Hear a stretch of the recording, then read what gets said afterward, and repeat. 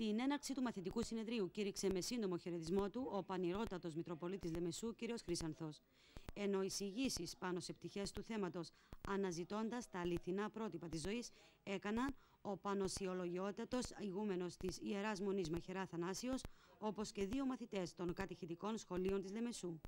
Τη συζήτηση που ακολούθησε συντόνιζε ο Διευθυντής του Γραφείου Θρησκευτικής Διαφωτίσεως της Ιεράς Μητροπόλεως Λεμεσού, Σταύρος Ολύμπιος.